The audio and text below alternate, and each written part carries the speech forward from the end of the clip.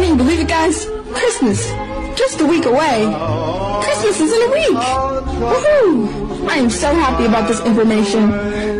Christmas, just a week away. Oh, wow. Can you believe it? Christmas, just in a week.